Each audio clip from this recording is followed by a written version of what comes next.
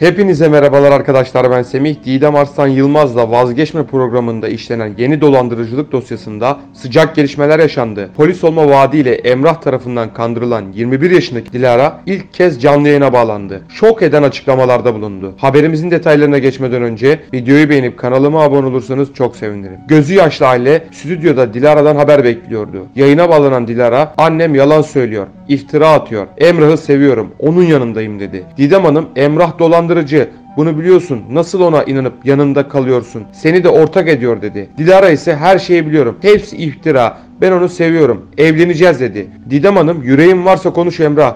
Telefonla dün tehdit ediyordun dedi. Emrah konuşmadı. Evet arkadaşlar mağdurlar sürekli yayın arıyor. Herkesi iş bulma vaadiyle kandırıp paralarını almış. Dilara'yı tehdit ve baskıyla yayında tutuyor gibi görünüyor. Yoksa bu da ikinci Melisay vakası mı? Değerli fikirlerinizi yorumlara bekliyorum. Siz de Didem Arslan Yılmaz'la vazgeçme programındaki gelişmelerden anında haberdar olmak için kanalıma abone olup bildirim zilini açmayı unutmayın. Hoşçakalın.